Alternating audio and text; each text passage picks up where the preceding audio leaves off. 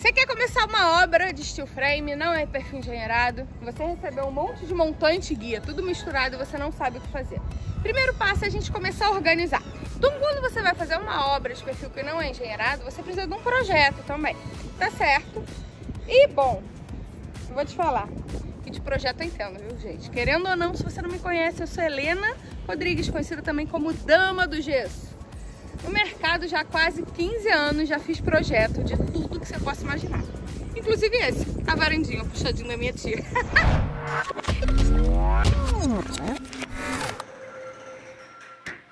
é exatamente isso que eu tô mostrando aqui nesse especial, construindo em steel frame a construção da varanda da minha tia. A gente vai estar tá fazendo ele com um perfil stick em vara, montantes e guias separados. Você compra em loja de material de construção civil normal, sem nenhum tipo de problema. E o que que acontece?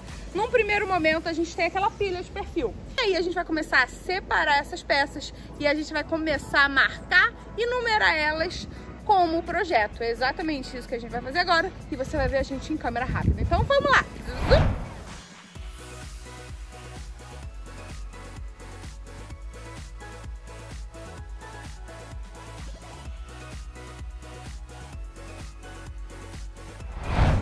Ó, a gente já separou os perfis, né? Que vai ser da nossa laje, que a gente vai fazer laje de perfil costas com costas. E a gente vai marcar para identificar eles e saber de onde que eles são. Então agora eu vou com a canetinha e o pilozinho e eu vou marcar. Nesse caso a gente está trabalhando com algumas peças inteiras. Mas quando a gente for começar a cortar, aí a gente pega eles. Aí agora, olha só que menina bonita a gente tem. Vai sair no YouTube, hein, menina bonita? Ficou com vergonha. Agora, o que, que a gente vai fazer? A gente vai começar a separar e marcar onde vão ter os cortes da diagonal. E a gente sabe que a gente precisa de 32 pecinhas com 30 centímetros. Então eu vou pegar o montante ali atrás, que essas minhas pecinhas têm que ser com montante. Vou pegar e vou marcar os 30 centímetros. Se cada montante tem 3 metros, eu consigo ter 10 pecinhas com 32 centímetros. Então, a gente vai pegar agora, inicialmente, três montantes e fazer toda essa marcação. Para isso, o que, que é legal? Você ter uma mesa, você ter uma bancada. Essa aqui é a nossa mesa de jardim bonita, prática, que a gente... E a gente vai pegar o nosso montante, botar na mesa e com a trena e as canetinhas a gente vai fazer as marcações. Então vamos lá.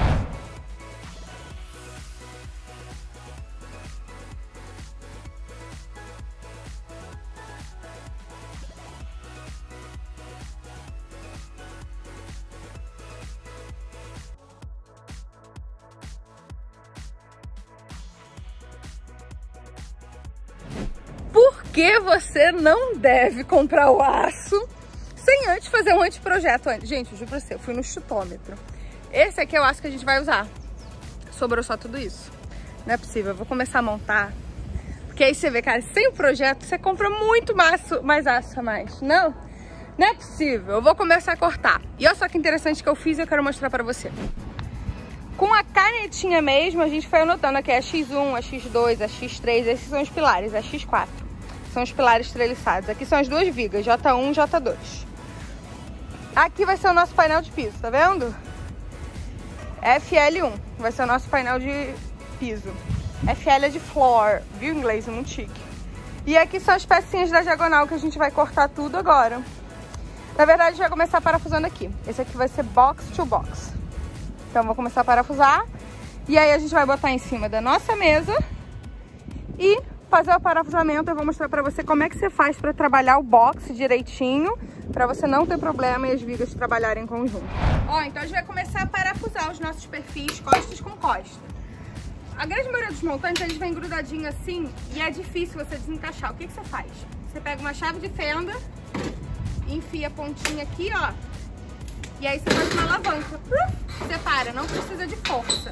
É muito mais jeitinho que força. Então, o que, que a gente vai fazer agora? Eu e minha super assistente, a futura arquiteta, vamos a parafusar eles, fazendo eles trabalharem em conjunto, costas com costas. E depois ele vai entrar no montante, que a gente vai parafusar ali, e na guia aqui desse lado. Então, o que a gente vai fazer é isso. E garantindo para eles trabalharem em conjunto, parafusa cada 20 centímetros em zigue-zague. Então vocês vão ver certinho o que, que a gente tá fazendo. Ó, então o que, que a gente tá fazendo agora? Ah, parafusando. Eu pego meu parafuso 4,8 por 19, ponta broca para steel frame. Eu botei um aqui embaixo. Vem cá ver. Eu botei um aqui embaixo. E aí o outro vai ser mais ou menos a 20 centímetros de distância. Aí, ó, 20 centímetros a gente pega e faz assim com a mão mais ou menos. E bota ele aqui, ó. E aí o que, que é importante você saber? Parafusadeira, a gente trabalha no 1 e baixa a velocidade e vai controlando para ficar no gatilho. Por quê? O aço do steel frame é muito duro. Se você for muito rápido, você queima o bit, queima a ponta do parafuso, queima a cabeça e não vai certo. Então, ó, a gente apoia aqui.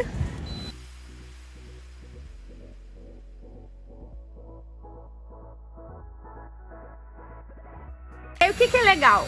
Você tá vendo que a ponta do parafuso vai cortando o aço.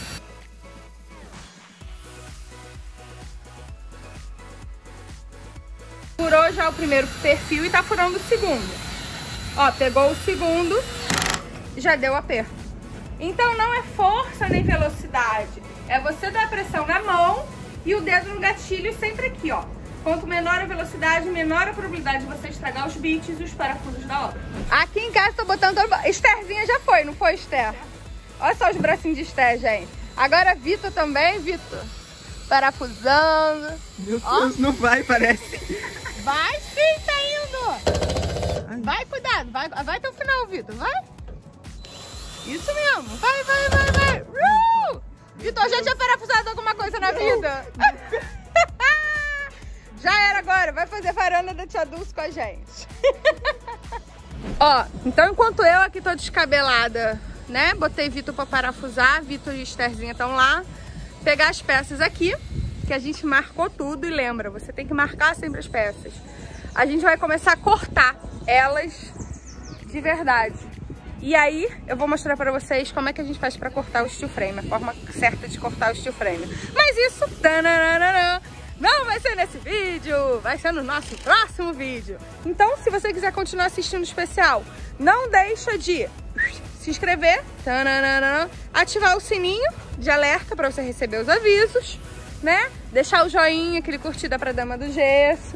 E eu te espero, vídeo que vem, vamos mostrar tintim por tintim todos os cuidados que a gente tem que cortar steel frame e como é que se corta da forma correta. Vitor, cuidado com o dedo, viu? E você que quer saber como se monta da forma correta, pra não bater com o dedo igual o Vitor tá batendo ali, clica aqui embaixo também no nosso link da imersão de steel frame. É uma imersão que acontece numa fábrica de steel frame que em três dias eu te mostro como é que você tira uma casa de steel frame do zero. Em dois dias a gente monta toda a estrutura da casa e no terceiro dia a gente vai falar sobre sistema de fachada, sistema de laje, sistema de telhado. Você vai ver tintim por tintim como é que você faz todos os fechamentos e acabamento da casa. Então a gente se vê por aí. Não deixa de clicar aqui embaixo. Te espero no próximo vídeo. Beijinhos. Tchau, tchau.